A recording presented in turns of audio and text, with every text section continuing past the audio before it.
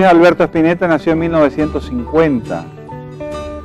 Vivió toda su vida en Buenos Aires, porteño neto, era del barrio Belgrano y justamente el tema de Andrés Calamaro que recién escuchábamos se llama así justamente, Belgrano. Hubo un disco de él que se llamó Bajo Belgrano y toda su vida se dedicó a la música. A los 18 años estaba ya listo para lanzarse a ser músico y querer vivir del arte. Sin embargo, conoce ese año eh, una banda inglesa que se llamaba Los Beatles.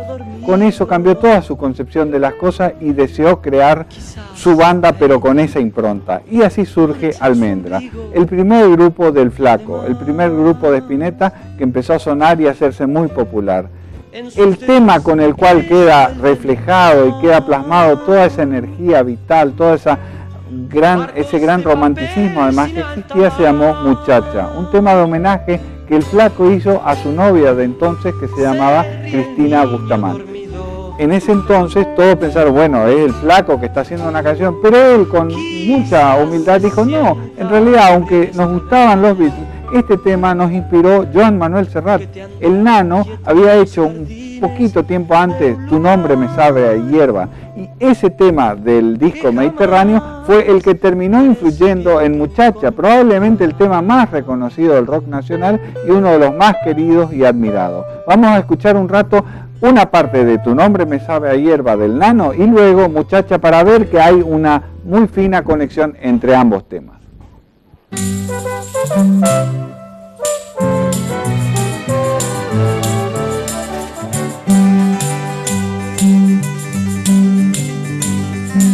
Porque te quiero a ti, porque te quiero.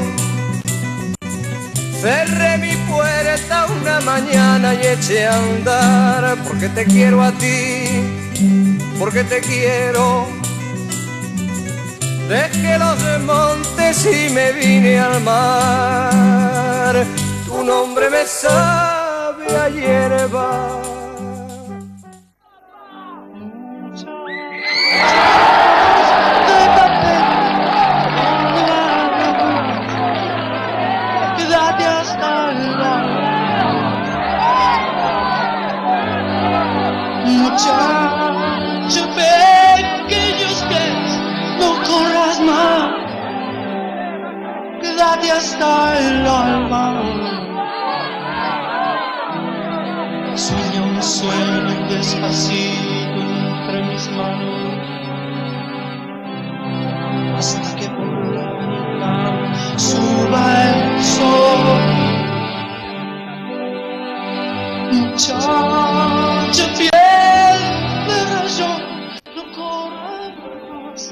El flaco Spinetta se inspiró con su novia Cristina Bustamante en hacer eh, Muchacha, pero ella tuvo incidencia en la letra. En una parte donde dice Muchacha, pechos de miel, el flaco en realidad había escrito Muchacha, senos de miel.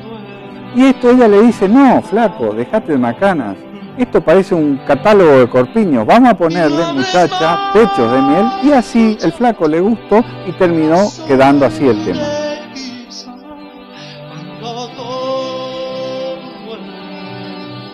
Finalmente, no todo lo bueno dura. El flaco se fue separando, después de cuatro años de relación, terminó alejándose de Cristina Bustamante.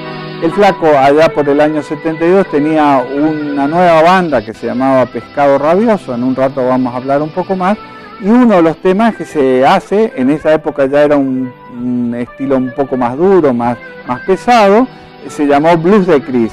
El blues de Chris habla un poco de esta crisis también con Cristina Bustamante y ya la despedida de ella. En este caso, como no hemos conseguido una versión original del blues de Chris, recurrimos al gran cantante e intérprete argentino Pedro Aznar, que muchos años después hizo un homenaje al Flaco Spinetta en un disco doble absolutamente recomendable que se llama Puentes Amarillos, donde hace el blues de Chris casi, casi a la perfección como fue aquella primera versión. Lo escuchamos ahora.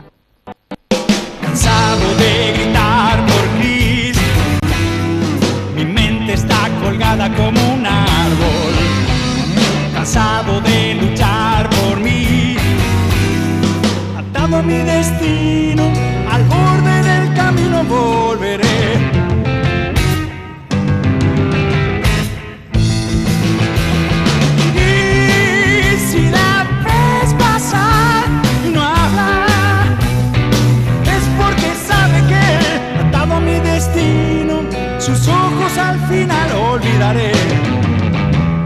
Cansado de gritar con Cris. Mi mente está perdida como un árbol, cansado de luchar por mí. La letra es clara, estoy cansado de luchar por Chris, dice flaco. El flaco se estaba separando de su novia, también había desaparecido Almendra y ya estaba existiendo una nueva banda que se llamaba Pescado Rabioso.